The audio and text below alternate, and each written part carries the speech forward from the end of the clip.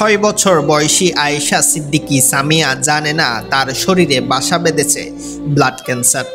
যে বয়সে খাতা, কলম, বই নিয়ে দিন পার করার কথা উন্নত চিকিৎসা পাওয়ার আশায় সে সময়টি পার হচ্ছে আজ আগ্রাবাদ মা ও শিশু হাসপাতালের বেড থেকে কাল সিরাজগঞ্জ হাসপাতাল। সামিয়ার বাবা ইপিজেটের একটি কারখানায় কর্মরত আছেন, যার পক্ষে এত সংখ্যক ব্যয়বহুল খরচ বহন করা সম্ভব না।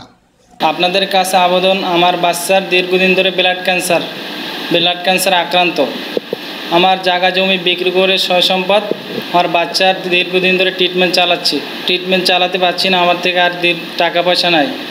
আপনারা যতটুকু সাহায্য সহযোগিতা পারেন আপনার আমার বাচ্চাদের কাছে এগিয়ে আসুন।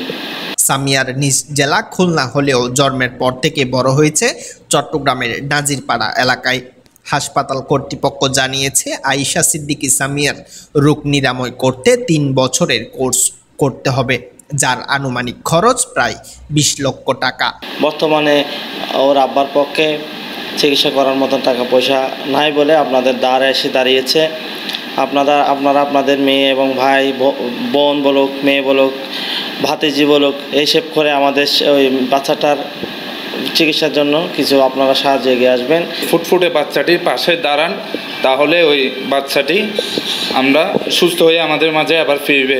তো সবার কাছে একটাই আকুল আবেদন বাচ্চাটির পাশে দাঁড়ান নিজের মেয়ের মতো করে বাচ্চাটির পাশে দাঁড়ান। আসুন সকলে মানবিক দিক বিবেচনা করে ছয় বছরের শিশু আয়েশা সিদ্দিকী সামিয়ার পাশে দাঁড়ায় সাহায্য পাঠাতে পারেন বিকাশ রকেট অ্যাকাউন্টের এই নাম্বারে।